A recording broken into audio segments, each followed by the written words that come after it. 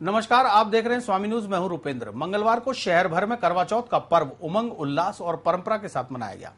सुहागिनों सहित नव विवाहिताओं और युवतियों ने निर्जला व्रत कर पति परिवार की दीर्घायु सहित सुख समृद्धि की कामना की। शिव और माँ गौरी से पूजा अर्चना कर पति की लंबी उम्र मांगते हुए महिलाओं ने पूरे दिन निराहार, निर्जला व्रत रखा और रात को चंद्र भगवान के दर्शन कर अपने उपवास को खोला।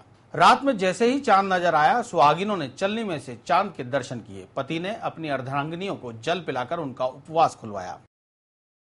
मंगलवार को दिन भर घरों सहित अनेक मंदिरों पर चौथ माता के अनुष्ठान में सपत्नीक पतियों ने भी हिस्सा लिया। पति की लंबी उम्र और परिवार में खुशहाली के लिए मनाए गए करवा चौथ व्रत पर अपने अपने उद्गार व्यक्त करते हुए विवाहिताओं ने बताया। आज पति, की लंबी आयु के लिए व्रत रखा जाता है और इसमें सब लेडीज़ सुहागन जो होती है वो अपने पति की लंबी आयु के लिए व्रत रखती है और पूजा करती है और शाम को ना ये मंदिर में पूजा करके आरती सुन के चाँद को अर्घ दे के व्रत खोलती है। आज करवा चौथ का व्रत रखा है। सभी सुहागन महिलाएँ करवा चौथ का व्रत रखती हैं और सुबह से भूखी प्यासी रहती हैं और फिर कहानी सुनती हैं मंदिर में आके। कहानी के बाद बाद में चाय पीती हैं और शाम को चाँद देख के अर्घ दे के और खाना खाती हैं। आज करवा चौथ है। और इसमें अपने पति के लिए व्रत रखा जाता है। मैंने भी अपने पति के लिए व्रत रखा है ताकि उनकी लंबी उम्र हो, खुशियाँ पाए, हमेशा निरोग रहे और बस हम दोनों साथ में खुश रहें। चमार घाटी स्थित चौथ माता मंदिर में शुक्रवार सुबह से ही श्रद्धालु महिलाओं का तांता लगा रहा। सुबह सज दज कर आई विवाहिताओं ने सूरज को अर्घ देकर घर परिवार में सुख, शांति और बच्चों के उज्जवल भविष्य की कामना के साथ मन्नतें मांगी। चौथ माता की कहानी कही और सुनी। एक ही है सुबह से यहाँ औरतें आती है अपने पति की लंबी दुआ की दुआ की वो मांगती है सुबह से पूजा करती है सुबह से ऐसे खूब उत्सव सा मनता है और सुहाग के लिए करते हैं खानी सुनती है व्रत रखते हैं करवा पीते हैं। क्या मेन महत्व क्या है इस पूजा का? इस पूजा का मेन महत्व ये है कि पति की लंबी लंबी उम्र की दुआ मांगते हैं। ये करवा चौथ का व्रत रहता है इसको पति की लंबी उम्र के लिए करना चाहिए और अच्छा लगता है व्रत करते हैं।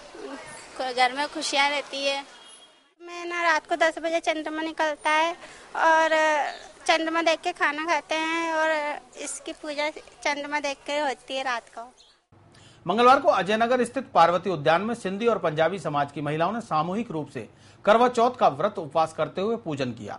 सभी विवाहिताएँ सच संवर कर हाथों में पूजा का थाल सजाए उद्यान में आई और चौथ माता की कथा का वाचन और श्रवण कर पति और परिवार की दीर्घायु की कामना की। विवाहित महिलाओं ने बताया कि करवा चौथ का त्योहार विवाहित महिलाओं के लिए ही होता है। इस त्योहार को मनाते हुए अपने सुहाग की लंबी उम्र और परिवार में खुशहाली की चौथ माता से प्रार्थना की जाती है।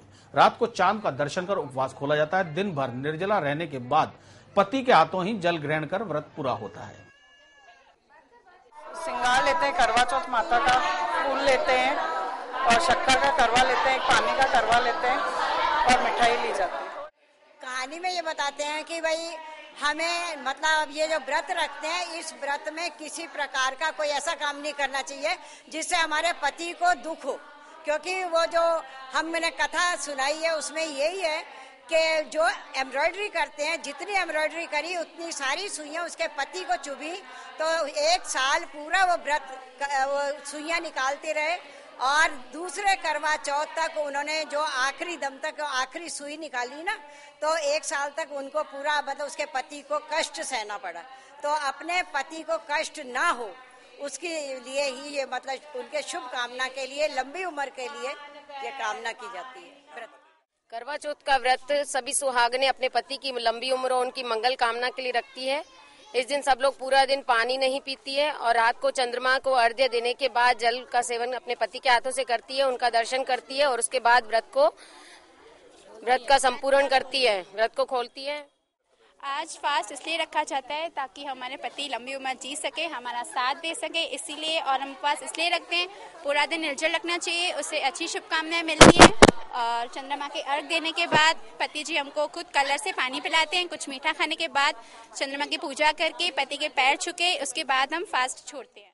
आज की पूजा में हम पतियों के लिए रखते हैं कि पति की आयु लंबी हो। इस दिन हम सुबह से भूखे रहते हैं और है ना, शाम को सज दस के करवा माता और गणेश जी की माम्बे की आरती करते हैं। थाली में गणेश जी का अम्बे माता का प्रसाद और जो सासू माँ को देना होता है, वो सब यहाँ पर लेके आते हैं।